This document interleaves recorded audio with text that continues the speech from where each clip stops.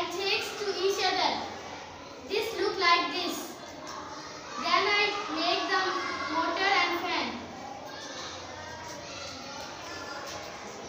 Now this is this is the fan.